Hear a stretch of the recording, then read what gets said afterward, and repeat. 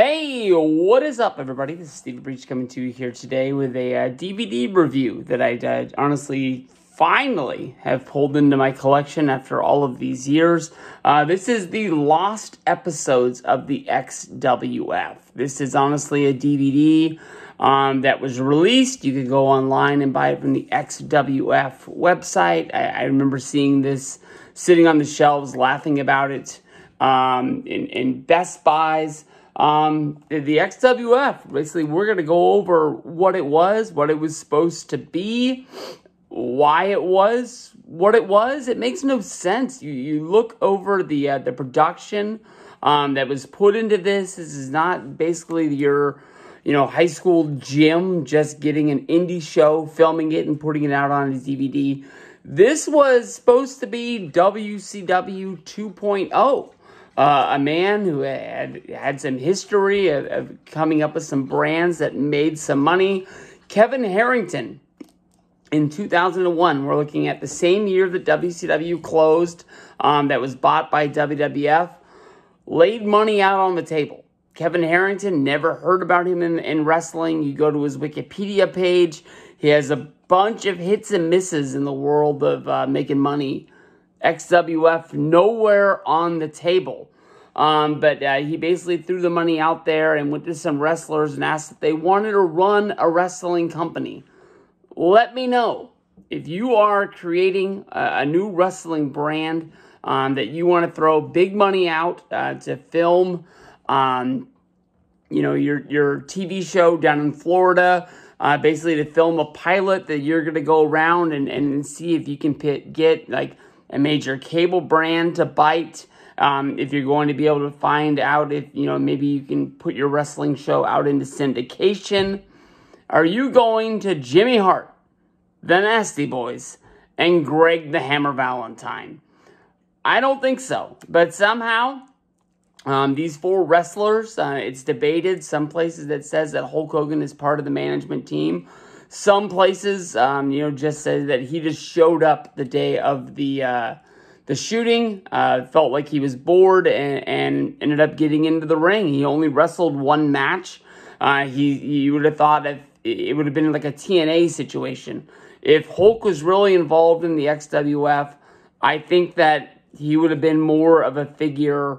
Um, you know, they brought in Sable, Rena Mero, to be the CEO on camera of this company. They brought in Roddy Piper to be the commissioner.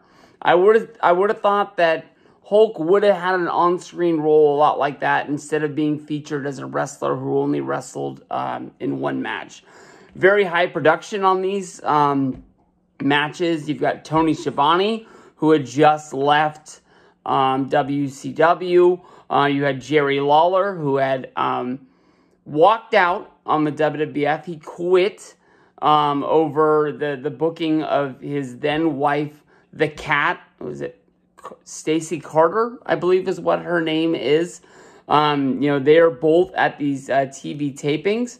Uh, but unfortunately, he's one of the guys. This is filmed in November of 2001.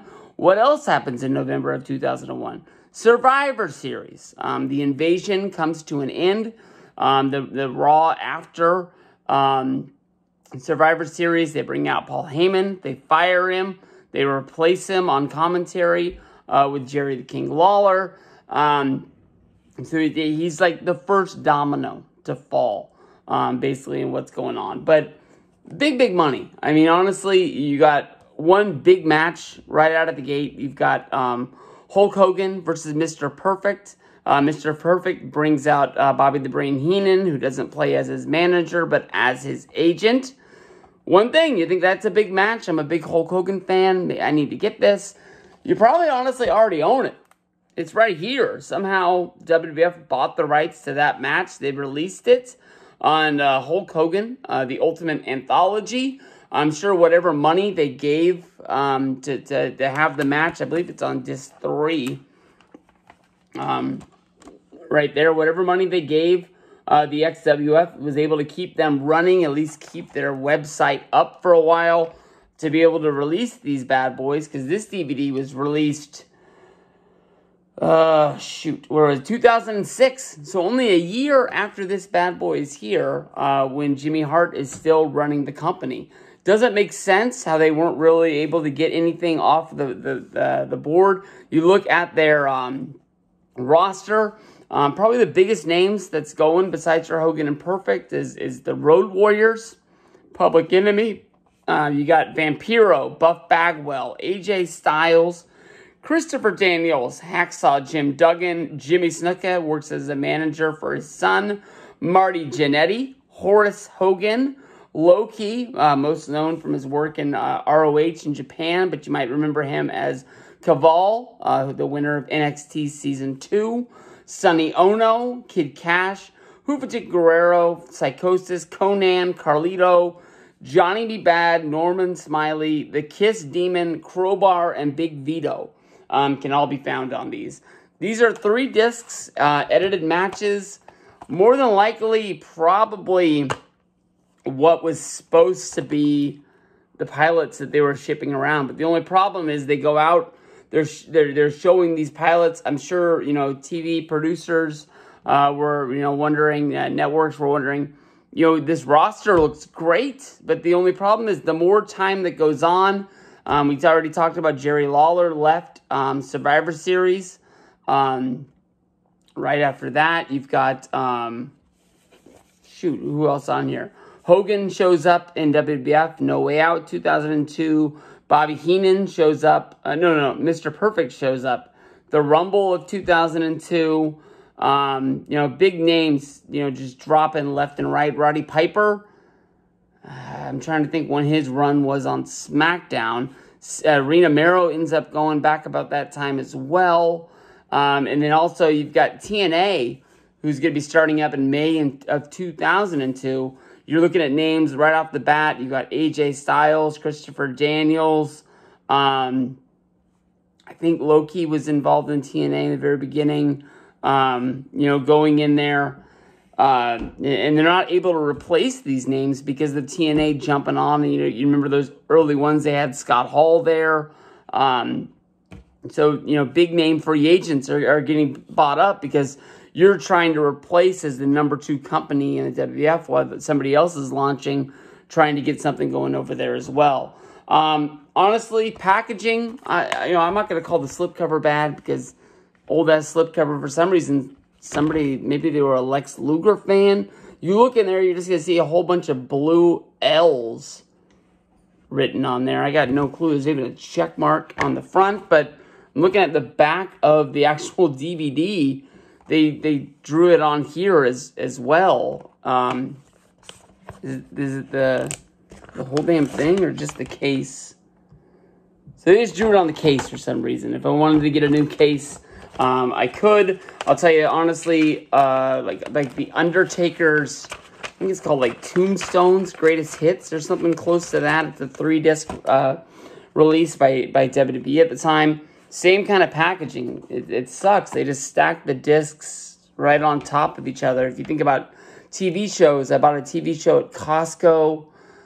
Shoot, I can't remember what. News Radio. I think it's like 18 discs. It's packaged basically the same way. It's hard to watch them. It's one of the reasons why I gave up on, on flipping through them because it's hard to juggle through. Like, you're supposed to put one on the bottom when you're done, when you put two in, and so three's ready, or whatever, they're just going to get mixed up. But your discs don't really have a whole bunch of information on them. Just has the uh, in your face written on them. If they were in a case that actually displayed the mount, they would say something. Um, disc time says that each one's about an hour. XWF logo on there, TV 14, even though that, that the Wikipedia thing said that they were trying to make their television uh, G rated at the time, trying to make it some something like what the WCW was before the um, NWO um, invasion. Um, you look at these matches on here. We've already went through the roster, but we've got uh, Big Vito versus Buff Bagwell, Marty uh. Um, I don't know who Hale is. Um, but you got Horace Hogan, Ian Henderson. All right, we got we got to start just reading the good ones. um, Curt Hennig uh, versus Vampiro, Juventud Guerrero and Psychosis against Konnan and Ray Gonzalez. Um, you've got um, Jerry Lawler actually wrestles a match. All right. I thought he was just the announcer. Um, we've got um, Johnny B. Bad versus Norman Smiley. Uh, the Shane Twins versus the Road Warriors. Um, Curt Hennig uh, versus Buff Bagwell. You've got uh, Horace Hogan versus Josh Matthews. Oh, Josh Matthews just was the was he the runner up winner of um, the first season of Tough Enough at that time. Goes on to be an announcer. I think he's in Impact right now. Um, we've got um, AJ Styles versus Kid Cash, Cruiserweight Championship match. Um, shoot. Um, extra match. The extra matches is actually where you're going to get Hogan versus Hennig. Uh, it's not even involved in one of the shows. Um, there's like an interview with Hulk Hogan why he doesn't think that the XWF ever took off. I'm not telling you this is like a must-have one for your um your DVD collection. I'm just saying this is like they they were trying to pick up where WCW left off. It's one of the reasons I've been looking to get this for a long time. You used to be able to get this used on Amazon for like five bucks. All of a sudden, about two three years ago, it spiked and for some reason, it was up like around $40. And I was like, no way in hell will I ever buy this. Guy had it listed on eBay. Um, he had it for uh, 15 and I played hardball with him. I sent him a couple offers before. Honestly, we, we got down to $14, uh, no shipping. Um, so I'm going to check it out. I, I don't really think anything's going to blow me away. Like, like I said, the, the biggest match that's on here has already been released years ago, and you probably already have it in your collection if you got this bad boy. So, um, I don't know. We'll see what it's like. Listen to Schiavone and Lawler uh, call some matches. A team that I never thought I would hear.